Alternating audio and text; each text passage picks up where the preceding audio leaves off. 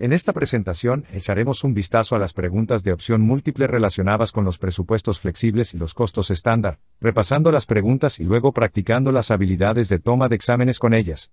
Primera pregunta. Un presupuesto variable también se denomina presupuesto modificable B, presupuesto flexible C, presupuesto fijo D, presupuesto normal E, presupuesto continuo. Repasemos esto de nuevo usando el proceso de eliminación. El presupuesto variable también se denomina presupuesto variable. Eso es lo que parece que está cambiando o cambiando. Así que eso parece razonable. Me quedo con eso por ahora. B dice un presupuesto flexible, y eso también implica un cambio dentro del presupuesto de variación. Así que eso parece razonable. C dice presupuesto fijo. Ahora bien, eso parece ser términos contrarios, variable versus fijo. Así que esos casi parecen opuestos. Así que no parece que vaya a ser un nombre similar. D dice presupuesto normal y podríamos pensar, ah, Tal vez que un presupuesto variable es normal, y E dice un presupuesto continuo. Y de nuevo, eso implica movimiento. Así que tal vez E, podríamos pensar eso. Así que vamos a repasarlo de nuevo. El presupuesto variable también se denomina presupuesto modificable, A, B, a presupuesto flexible, D, presupuesto normal o E, presupuesto continuo. Ahora, de esos términos, el presupuesto móvil probablemente debería sonar un poco extraño. Es que tiene que ver con el tiempo.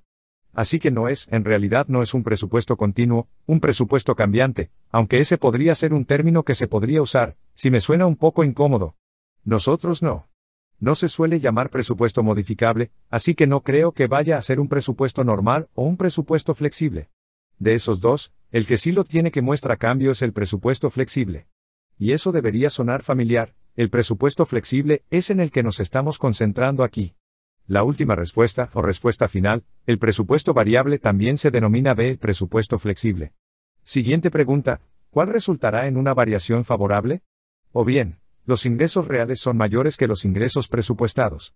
B, los ingresos reales son menores que los ingresos presupuestados. C, el ingreso neto real es menor que el ingreso neto esperado. D, los costos reales son mayores que los costos presupuestados, los gastos reales son mayores que los gastos presupuestados. Bien, Repasemos esto de nuevo, lo que dará como resultado una variación favorable. Ahora, cuando piensas en varianza, estamos pensando en una diferencia. Así que aquí hay una diferencia que va a suceder. Estamos comparando, en esencia, el presupuesto con el real. Y estamos pensando en lo que va a ser una buena noticia. ¿Y qué sería una buena noticia si algo, si lo hiciéramos, nos desempeñamos mejor de lo que presupuestamos? Esa sería una diferencia favorable. Sería una buena noticia. Teniendo esto en cuenta, repasemos estos elementos. A dice que los ingresos reales son mayores que los ingresos presupuestados.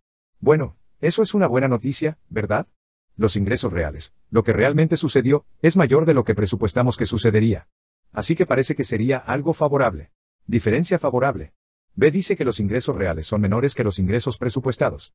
Bueno, si los ingresos reales, lo que realmente sucedió, es menor de lo que presupuestamos que sucedería, eso no parece bueno.